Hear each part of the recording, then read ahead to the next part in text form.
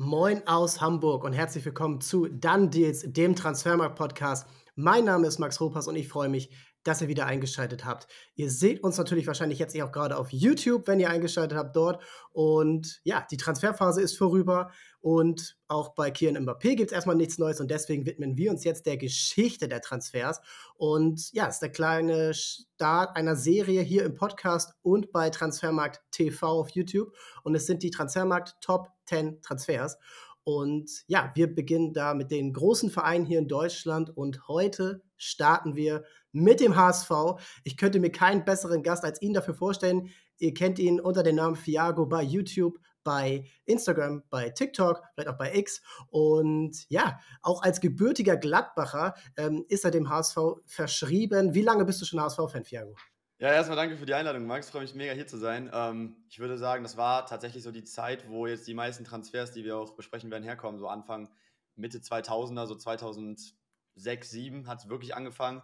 Ähm, und dann äh, so, so ex extrem wurde es dann, glaube ich, so 2008. Also jetzt auch schon einige Zeit, so seit ich so 5, 6, 7 war.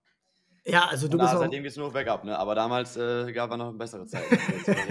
genau, wir äh, sind wieder an einem Punkt, wo es dem HSV gerade nicht so gut geht, obwohl ja die Stimmung im Stadion immer ganz gut ist aktuell und man ja auch immer oben mit dabei ist um den Ausstieg die Weiterentlassung, ja, die hat jetzt wieder so ein bisschen reingehauen. Ähm, und wir wollen aber den Blick eben auf diese besseren Zeiten blicken, denn wir schauen auf die besten Transfers seit 2000. Ja, also wir machen einen kleinen Draft. Äh, ich erkläre sofort zu den besten Transfers. Fiago und ich wechseln uns dabei ab und es ist ja im Prinzip dann schon eher so ein Blick auf diese Zeit, da werden wir gleich drauf kommen. Ja, wie funktioniert es? Am, Im Prinzip geht es so wie im Draft. Snake Draft, Fiago fängt an, dann äh, übernehme ich mit dem zweiten und dem dritten Pick, dann ist Fiago wieder dran mit dem vierten und dem fünften Pick und so weiter, bis ich dann am Ende den zehnten und letzten Pick mache. Und ähm, ja, am Ende könnt ihr dann auch entscheiden, hier in den Kommentaren bei YouTube oder Spotify oder auch bei Instagram, wenn ihr es dort seht, wer hat die besseren Transfers ausgewählt und ähm, ja, was sind auch eure Lieblingstransfers? Wen haben wir vielleicht sogar vergessen, der gar nicht mit dabei war? Das ist im Prinzip unser Ansatz hier für diese Serie, für den HSV und auch für die anderen Vereine in den kommenden Wochen. Da könnt ihr euch drauf freuen. Da haben wir auch noch einige Gäste für euch parat. Und ähm, ja, wonach wählen wir aus?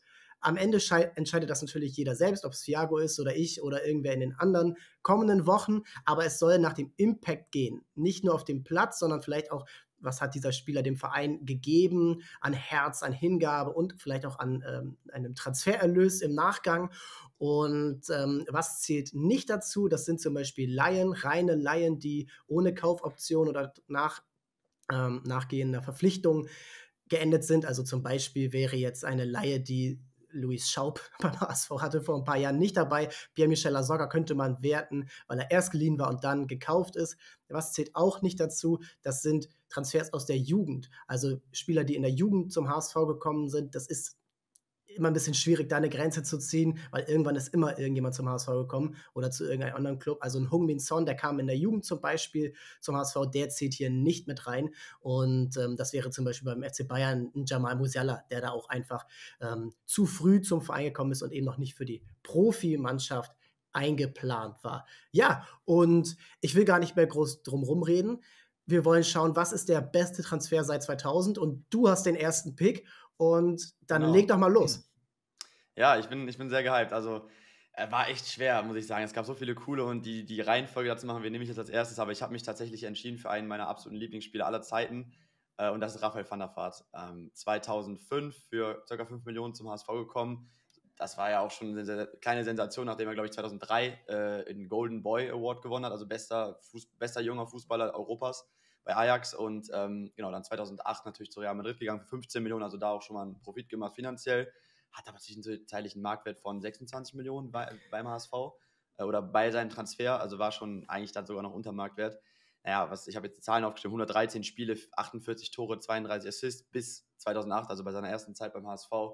Und den Mann habe ich halt auch noch so die letzten paar Jahre noch verfolgt, äh, konnte ich noch verfolgen. Und das war einfach, ja, weiß ja jeder HSV-Fan, unfassbar geil, den zu gucken zuzugucken. So ein paar Erinnerungen, 2007 beim Nordderby halt einen Doppelpack gemacht gegen Werder. Da war ich im Stadion. Was für ein Spiel. Stadion. Da war der HSV letzter und Werder erster. Und da es waren 2-0 gewonnen. Seit vier Jahren oder so kein Nordderby mehr gewonnen, meine ich. Hat er, glaube ich, erst einen Elfmeter gemacht und dann noch das 2-0 nachgelegt am Ende. Ähm, Und was ich so, jetzt wo du vom Stadion redest, was ich da so mit verbinde, 2000, also jetzt zwar die zweite Zeit bei ihm beim, äh, beim HSV, aber als er gerade wiedergekommen war, 2012 gegen Gladbach, in Gladbach war ich dann im Stadion und da haben wir zwar nur 2-2 gespielt, am Ende noch irgendwie den Ausgleich kassiert. Das war so der erste, der zweite, dritte Spieltag oder so der Saison 12-13. Da hat er aber so, so ein geiles Tor gemacht, über 25 Metern von links irgendwie Volley abgezogen. Ich weiß nicht, ob du dich daran erinnerst. Ja, auf jeden Fall. Das aber war das kurz nach seiner ich so Verpflichtung. extrem mit ihm, weil das so meine, das war das erste Mal, dass ich ihn im Stadion gesehen habe. Leider dann erst bei der zweiten Zeit. Aber ja, was ein Kicker, einfach, einfach Traum.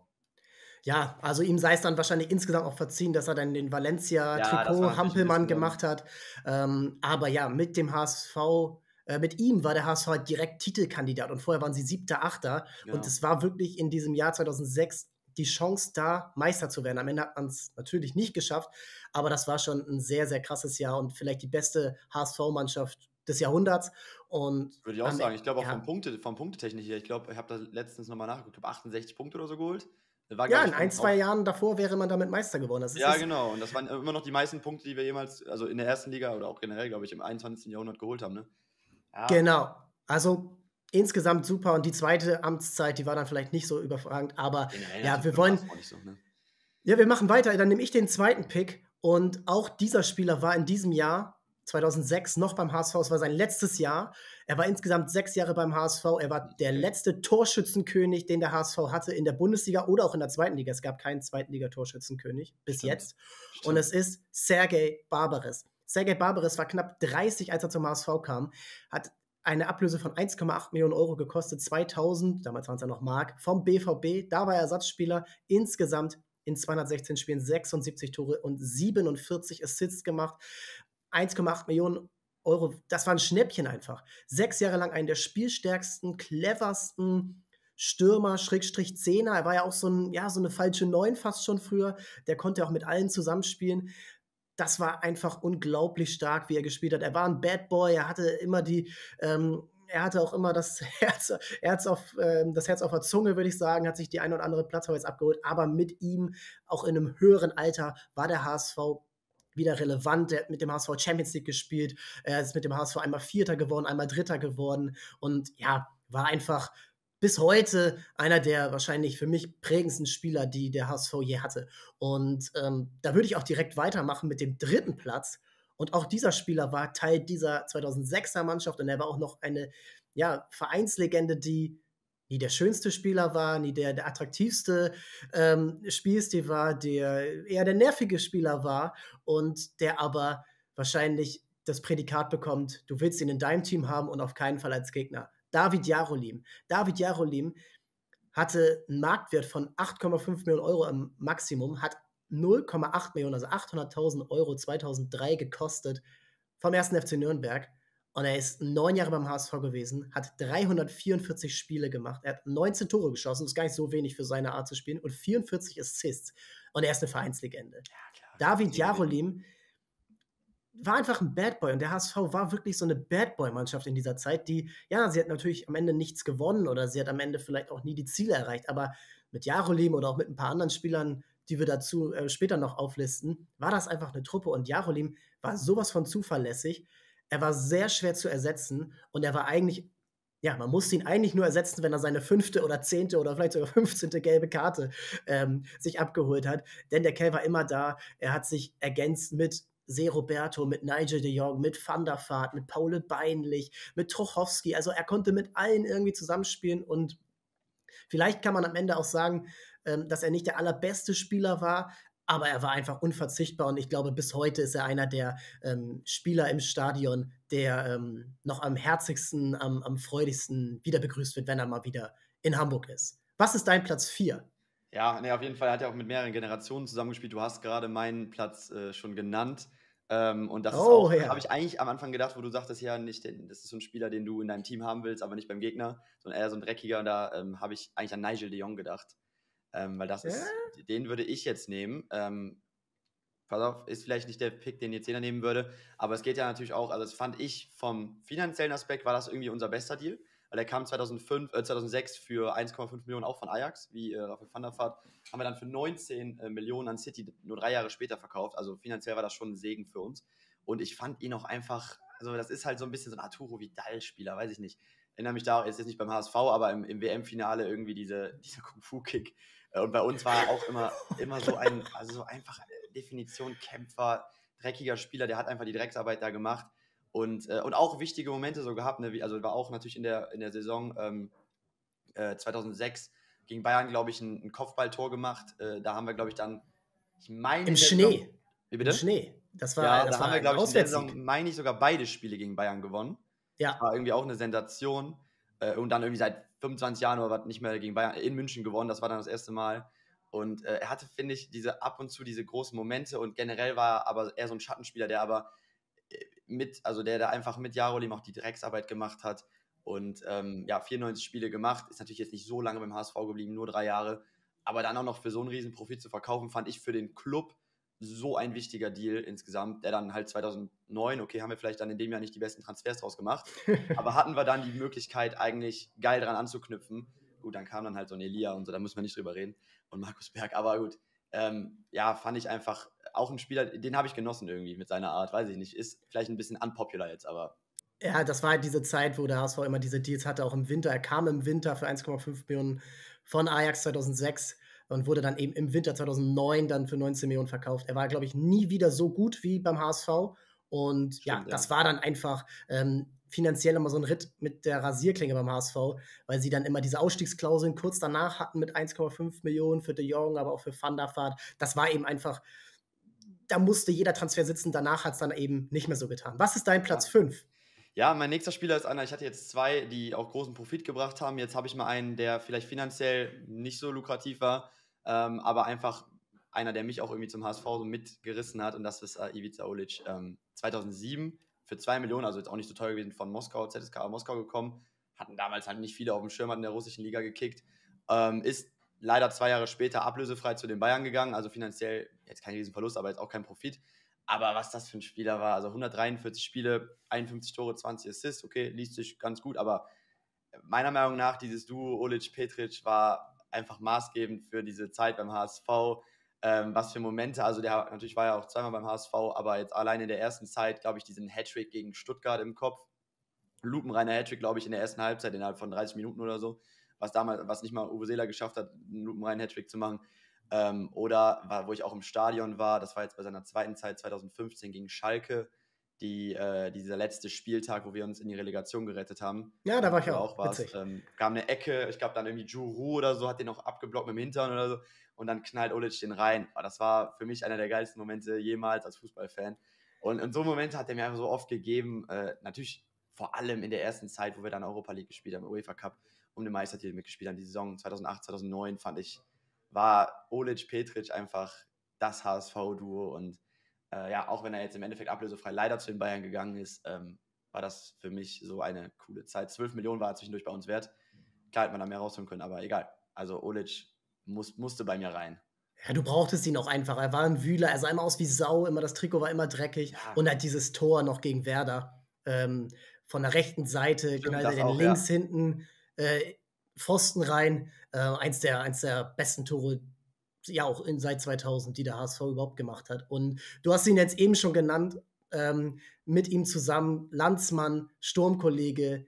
Und er hat auch den HSV, finde ich, nochmal von ein bisschen mehr träumen lassen, ähm, als am Ende dann drin war. Mladen Petric. Mladen Petric kam 2008 für kumuliert 7,3 Millionen Euro vom BVB, kam im, äh, im Tausch mit Sidan. Also Sidan ist dann zu Dortmund. Damals kam ja Klopp dann beim BVB ran und er wollte unbedingt Sidan haben. Petric war nicht so sein Spielertyp. Für den HSV war er super. 11 Millionen Euro war er wert. Er hat auch direkt mit Olic funktioniert, er hat auch mit Paulo Guerrero funktioniert, aber auch mit dem Mittelfeld, mit Pietreupa, mit Trochowski. Also das war einfach ideal. Und wenn Petric eins konnte, waren es Traumtore. Also mir fällt ein Traumtor nach dem nächsten ein. Also äh, in Lüttich, glaube ich, der Fallrückzieher. Ja. Ähm, Im Derby bei St. Pauli der gar kein, ja, das war ein Volley, ähm, komplett hinten rein, kurz vor Schluss das 1-1 gemacht, immer wieder die wichtigen Dinger gemacht, gegen Bayern Tore gemacht und Petric war einfach ein Spieler, der, der einfach so ein gewisses Flair hatte. Er ist auch nicht so der, ich sag mal, Olic war der Kämpfer, Petric war eher so der Schönspieler. Sie haben sich super ergänzt und ähm, ich habe Petric einfach richtig gerne spielen sehen. Und auch wenn er am Ende dann so ein bisschen verletzungsgeplagt war und dann nicht mehr in diese Form reingekommen ist, die er noch am Anfang hatte, ist er einer der besten Deals gewesen, denn mit ihm war der HSV einfach zwei Jahre lang Titelkandidat und das war eine gute Bundesliga, die man damals hatte. Natürlich waren die Bayern nicht so dominant, wie sie es jetzt sind, aber alle anderen waren stark. Das war Schalke, das war Werder, das war äh, Bayer Leverkusen, das war Wolfsburg. Also das war eine richtig enge Bundesliga damals und international waren sie eh immer Titelkandidat. Deswegen, Petric hat da richtig seinen, Trag, äh, seinen Teil zu beigetragen. In 136 Spielen, 61 Tore, 21 Assists und ja, einfach ein, einfach ein richtig toller Transfer. Auch so kurz vor der Saison ging das so los. Das war so ein, so ein Deal über Nacht und das war so ein Transfer, der richtig Euphorie in dem Jahr ausgelöst hat, 2008. Das stimmt, das stimmt. Mein Platz. Ganz kurz noch, ich erinnere mich auch noch das Ja. falsche Tor gegen Fulham. Muss ich, muss ich gerade Oh. Ja, natürlich. Das Also das war, das war das beste Tor wahrscheinlich von allen. ja, aber leider natürlich das Spiel nicht der beste Ausgang. Egal. Nice, guter Pick. Mein Platz 7, auch in der Ära, also natürlich sind fast alle Deals, äh, die wir hier haben, in dieser Ära. Und aber auch einer, der wenig Geld gekostet hat, der blitzartig über die Bühne ging. Das war so ein, Deal, was, so ein Ding, was der HSV immer so hatte. So Blitztransfers. Ah, okay, den haben wir jetzt. Oh, krass, gut. Und das war einer. Und der hat für Ruhe gesorgt. Nicht unbedingt wortwörtlich für Ruhe, aber für Sicherheit. Frank Rost. Frank Rost im Tor. Frank Rost kam 2007 für 1,5 Millionen Euro aus Schalke. Er war da kurz vorher auf die Bank gesetzt worden für einen gewissen Manuel Neuer. Gut, kann mal passieren. Ähm, Verstehen? Grüße an Marc-André Testegen. So, aber Frank Rost hat nach Jahren des Dramas auf der Torhüterposition beim HSV mit Stefan Wächter, mit Sascha Kirstein, mit Martin Piekenhagen, ich glaube, seit Jörg Butt hatten wir keinen richtig guten Torhüter dabei. Äh, Also 2001 ist der zu Leverkusen gegangen und der hat für Sicherheit gesorgt. Als er kam, war der HSV auf einem Abstiegsplatz und in der Saison 2006, 2007, gemeinsam mit Olic, kam er zur gleichen Zeit, sind sie dann Siebter geworden. Danach immer Europa League, ähm, pokalweit sowieso. Und Rost hat einfach eine Ruhe ausgestrahlt, der hat die Leute eingepeitscht. Dennis Aogo war letztes Jahr hier bei uns im Podcast zu Gast und der hat da wirklich auch von Frank Rost einerseits geschwärmt, aber andererseits hat er, glaube ich, noch ein bisschen Angst, äh, nach dass er vor ihm in der Viererkette gespielt hat. Und ja, der hat einfach die Probleme gelöst und er war die Bank, die man sich erwünscht hat. Und er war einfach einer, der durchs Feuer gegangen ist, der Energie gezeigt hat und so ein Bad Boy, den man sich ja gewünscht hat, wahrscheinlich auf der Torhüter-Position und den man seitdem auch nicht mehr hatte. 70 Mal zu null. Und ähm, auch wenn er am Ende natürlich auch ein bisschen älter war, ähm, dann wurde ihm auch äh, Jaroslav Drobny an die Seite gesetzt. Also es war trotzdem ein Spieler, ohne den der HSV vielleicht ähm, schon ganz woanders ähm, gewesen wäre in diesem Jahr 2007. Das stimmt. Ja, wie alt war er, als er gekommen ist? Das war ja auch schon, war ja 34, 35 schon, Ja. oder? Also da war er schon äh, sehr, sehr lange und er hat am Ende dann genauso viele Spiele für den HSV gemacht wie für Werder Bremen. Also das ist, Und das ist, er ist, bei, ja. er ist bei beiden Vereinen eigentlich eine Vereinslegende, ohne dass man irgendwie sagen würde, glaube ich, dass äh, ein Verein äh, böse ist, dass er auch beim anderen Verein Ja, gespielt hat. das können nicht viele von sich sagen. Nee. Ja, Was ist- Was ist dein Platz 8? Ähm, ich habe jetzt, äh, ich, ich, ich, ich muss mich jetzt umentscheiden. Ich hatte jetzt eigentlich tatsächlich, nee, komm, ich gehe ich geh mit Trochowski. Ich gehe mit Piotr Trochowski. Ähm, der Mann, ähm, ja, weiß ich nicht, hatte ich eigentlich ein bisschen weiter unten auf der Liste, aber jetzt gerade habe ich mich nochmal irgendwie überlegt. Der kam ja 2005 von den Bayern oder ist ja eigentlich Hamburger Jung, war dann bei den Bayern in der Jugend und äh, hat dann auch, glaube ich, seine ersten Bundesliga-Einsätze da bekommen, konnte sich da nicht durchsetzen. Haben wir dann zurückgeholt für eine, Million Euro damals. Ähm, und das war, ähm, der, der Mann ist eigentlich direkt eingeschlagen in der ersten Saison. Ne? Ich glaube, das war sogar gegen Bayern. Das war so sein Spiel, wo ab, da, ab, ab dem er quasi durch die Decke gegangen ist. Da haben wir auch gewonnen. Das war, hatte ich glaube ich eben schon mal drüber geredet. Da haben wir 2005, genau. Genau, 2005 im äh, September, glaube ich.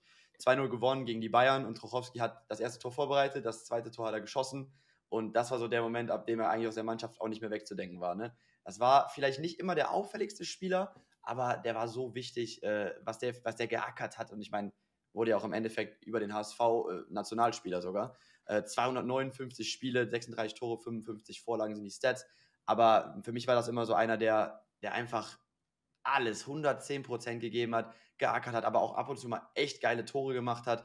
Und ähm, ja, war halt ein Riesenteil so von dieser, von dieser HSV-Mannschaft. 2006 bis 2011 war er jetzt dabei, aber vor allem so 2006 bis 2019, so diese glorreichen Zeiten, äh, fand ich ihn immer so ein also weiß ich nicht, so einen coolen Spieler. War auch mein, mein erstes Trikot war immer zwischen Petric oder Trochowski, habe mich dann für Petric entschieden, aber er wäre meine zweite Wahl gewesen und ähm, ja, dann 2010 sogar bei der WM in Südafrika dabei gewesen. Und äh, klar, er ist dann ablösefrei zu Sevilla gegangen, war auch noch nicht so alt, ich glaube 26, 27. Fand ich ehrlich gesagt immer extrem schade. Äh, hätte gedacht, dass er vielleicht noch ein bisschen länger hätte bleiben können. Aber gut, war eine geile Zeit, sechs Jahre und wenn man sieht, sechs Jahre, 259 Spiele, der Mann hat eigentlich immer gespielt. Ja, und er hat echt auch richtig viel aus seiner Karriere rausgeholt. Und ich glaube, ja. das ist so ein bisschen das, was ihm vielleicht auch ein bisschen Probleme bereitet hat beim HSV, dass man ihm vielleicht zu viele Erwartungen an ihn hatte, weil er eben Hamburger war, weil er ja, Nationalspieler dann war. Aber er hat echt viel gemacht und er hatte auch Verletzungsprobleme, musste ja auch dann ähm, ja, relativ früh dann seine Karriere beenden bei Sevilla. Ist nichts geworden, er war nur noch bei Augsburg. Augsburg. Ne? Ja. ja. Und äh, mittlerweile ist er auch wieder im Verein ähm, hat in der dritten Mannschaft gespielt, noch mit ähm, Jansen zusammen. Ähm, ist, glaube ich, auch jetzt da im, im Trainerstab in, äh, in der Jugend. auch mega, der gehört einfach zum Also ist einfach ein Hamburger und hat einfach immer Spaß gemacht. Die Tore, ja. ähm, das war. Das war echt heftig. Und ja, 2010 hatten vier Hamburger bei der Weltmeisterschaft mit ja. Boateng, Aogo, Jansen und eben Trowski. Ja, sie waren vielleicht nicht die allerbesten, aber dass sich das überhaupt äh, sozusagen so entwickelt hat, ist ja. eben aller Vor allem in der Truppe, wert. die auch Dritter geworden ist, dass wir haben vier HSV-Spieler dabei waren. Weiß ich nicht, wann wir das das nächste Mal erleben werden. Weil, für, ich glaube nicht für Deutschland. Ähm, was ist dein Platz 9? Dann würde ich tatsächlich im Endeffekt mit einem gehen, den ich eigentlich gar nicht nennen wollte, den kein HSV-Fan so gerne nennt, aber ich würde dann wirklich mit Hakan Çalhanoğlu gehen. Ah. Ja, weil, ähm, pass auf, ähm, ist jetzt gar, gar keine schönen Erinnerungen eigentlich dann an seinen Abgang vor allem nicht. Ne? Wie gesagt, das ist ja kein tolles Thema beim HSV. Aber 2012 für zweieinhalb Millionen von Karlsruhe gekommen, was ich damals eigentlich relativ viel fand für so einen un, unerfahrenen Spieler. Wurde dann, glaube ich, noch ein Jahr ausgeliehen an den KSC, hat dann im genau. Endeffekt nur eine Saison wirklich beim HSV gespielt. 13, 14, was auch nicht die beste Saison war. Aber man muss einfach so fair sein und sagen, er war der beste Spieler in dem Team in der Saison, fand ich. Mit Abstand. Ja. Und, äh, da kam der Socker, aber, aber genau. Chalanolu mit Abstand. Er war, er war halt, das ist, das, das ist auch meiner Meinung nach der Grund, warum er jetzt so warum wir jetzt so schlecht auf ihn zu sprechen sind, weil wir haben halt gedacht, ey, wir haben den Klassenerhalt dann geschafft. Er hat irgendwie elf Tore, fünf Vorlagen gemacht, was unfassbar ist für diese Mannschaft, weil die Mannschaft war ja wirklich grottenschlecht, muss man ja wirklich sagen. Äh, und äh, dann das Tor gegen, gegen, gegen Dortmund, ähm, wo wir, glaube ich, auch 3-0 gewonnen haben. Aus 40 Metern, dieser Freistoß, letzte Minute, wo dann nicht mal mehr die Mauer gestellt wurde. Keiner hatte gedacht, dass da noch was wird. Ne? Kennt ja jeder das Tor, wird ja auch auf irgendwelchen englischen Seiten immer wieder gerepostet. Ähm, und dann haben wir uns irgendwie gedacht, okay, wir haben dann den Klassenerhalt geschafft Jetzt ist er so die Hoffnung, die uns irgendwie wieder in bessere Zeiten führt, der Hoffnungsträger. Ja gut, dann ging das Ganze anders aus. Er ist dann im Endeffekt natürlich für uns noch ganz gut für über 15 Millionen zu Leverkusen gegangen. Haben wir dann einen Profit von über 10 Millionen gemacht in, in zwei Jahren. Aber trotzdem Fahrerbeigeschmack, weil er jetzt, muss man auch jetzt anerkennen, einer der besten Mittelfeldspieler der Welt geworden ist, wirklich bei Inter. Ne? Ja, auf einer Position, die ich ihm so nie zugetraut hätte. Nee. So zentraler Sechser. Das ist wirklich ähm, heftig. Er hat sich nochmal so, verbessert von seinen Milan-Zeiten, ja. jetzt noch bei Inter und äh, letztes Jahr Champions League-Finale gespielt, dieses Jahr wird er wieder Meister in Italien. Also muss man sagen, fußballerisch vermutlich einer der besten Spieler, den der HSV im 21. Jahrhundert überhaupt hatte. Ja. Ähm, naja, deswegen, ich muss ihn fairerweise reinnehmen. Ja, also da ist er, glaube ich, finde ich, fast nur Son vor ja. ihm und Boateng natürlich, ähm, da kann man auch noch drüber sprechen. Company vielleicht, ja, aber das war Und Vincent Company, die beim HSV aber nie so diesen Impact hatten, den er in dieser Saison eben schon hatte. Ja. Und ja, der HSV damals ist ja bis heute der, glaube ich, schlechteste Nicht-Absteiger, den es je gegeben hat, mit 27 Punkten. Die letzten fünf Spiele verloren, Relegation auch nur unentschieden. Und ja, er und La Soga letztendlich haben den Verein in der Klasse. Hätten wir gehalten. ihn nicht gehabt, wären wir abgestiegen, muss man ganz fairerweise sagen. Das, das, sehe ich halt auch als Impact. Ich meine, wir sind ja. im Endeffekt, aber dass wir da nicht abgestiegen sind, sehe ich halt auch als seinen Impact mit. So deswegen muss ich ihn mit reinnehmen. Ja, Platz 9, Hakan Çalhanoğlu. Und dann habe ich den letzten Pick. Ähm, da sind jetzt einige dabei, die könnt ihr auch gerne in die Kommentare schreiben, ähm, die jetzt nicht mit dabei sind. Aber er, auch wenn er nur zwei Jahre beim HSV war, muss dabei sein. Und er kam ablösefrei er hatte noch einen Marktwert von 7 Millionen Euro, was für sein Alter damals sehr, sehr gut ist. Und er kam 2009 ablösefrei von den Bayern und er ist für mich, und wo wir gerade von den besten Spielern überhaupt im HSV-Trikot gesprochen haben, muss er auch genannt werden. Se Roberto. Se Roberto kam im Sommer 2009 ablösefrei von den Bayern, nachdem die gesagt haben, okay, boah, das war's hier, vielen Dank, ähm, du bist zu alt, äh, so vielleicht so ein bisschen durch die Blume. Es war dann kurzes Gerücht, dass er zu Köln geht, aber er kam dann zum HSV. Und direkt vom ersten Spieltag an war das ein anderer Fußball beim HSV durch ihn. Denn damals gab es keinen Thunderfahrt mehr, es gab auch keinen anderen Spielgestalter, weil das war Nitrochowski, aber es war auch kein Thiago Neves, der ist komplett gefloppt. Und sehr Roberto hat diese Mannschaft getragen. Und 2009 in der Hinrunde hat diese Mannschaft von der Meisterschaft geträumt, vom Pokalfinale, ähm, also vom UEFA-Pokal, Europa League-Finale im eigenen Stadion. Und sehr Roberto in seinem Alter hat diese Mannschaft getragen. Es war traumhafter Fußball, den der HSV gespielt hat, vielleicht der schönste Fußball überhaupt, den der HSV, sagen wir mal, in diesem Jahrtausend gespielt hat. Und er war der Grund, er war topfit. Er hat ja bis 44 Jahre noch gespielt Krass, in Brasilien. Er sieht heute noch aus wie, ähm, wie Adonis. Und er war damals einfach die Bank äh, zusammen mit Jarolim auf der 6. Er hat einen Elia in Szene gesetzt. Er hat einen ähm, Guerrero, einen Petric, einen Olic. Äh, Olic war nicht mehr da, aber die hat er alle in Szene gesetzt. Er hat diese Mannschaft getragen. Er war ein Vorbild. Er war super beliebt. Und es sah einfach traumhaft aus in diesen Jahren, ihm beim Fußball zuzusehen. Und ich würde jetzt mal sagen, an einem 36-Jährigen, 37-Jährigen lag es dann nicht, dass dann diese Zeit so geendet ist. Denn man kann eigentlich nur dankbar sein, dass der überhaupt zum HSV gekommen ist. Und wenn er nicht gekommen wäre, dann wäre dieser Absturz, würde ich sagen, der dann 2011 so kam, viel früher passiert, weil Seroberto hat nochmal viel kaschiert, was schon in der ganzen, ähm, ich sag mal, Kaderzusammenstellung damals schon schiefgegangen ist. Das stimmt, ja. Guter Pick. Hätte ich gar, habe ich gar nicht auf meiner Liste gehabt, aber sehr stark auch.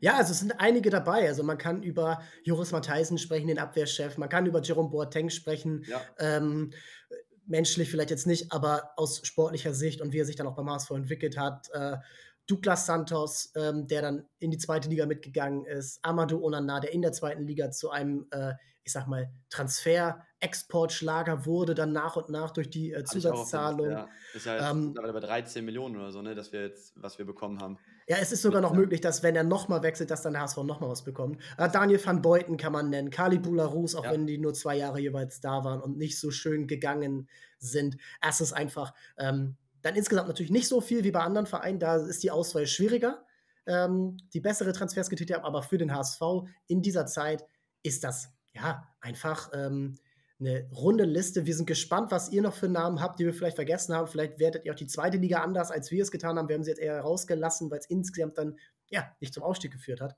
Und ähm, ja, ich glaube, äh, man kann gespannt sein, was da in den kommenden Jahren noch dazukommt. Aber ich glaube, diese Zeit ist, ich glaube, für Fans, auch in deinem Alter, du bist ja noch ein bisschen jünger als ich, äh, unvergessen.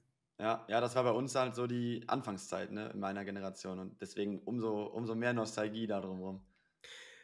Ja, das war's für diese Woche. Vielen Dank fürs Zuschauen bzw. Zuhören. Schreibt in die Kommentare, ähm, macht bei den Umfragen mit und ähm, dann abonniert natürlich auch die Kanäle Transfermarkt TV auf YouTube und dann jetzt auf Spotify. Und wir sind äh, kommende Woche wieder für euch da. Vielen Dank an Fiago und äh, bis zum nächsten Mal. Ciao, ciao.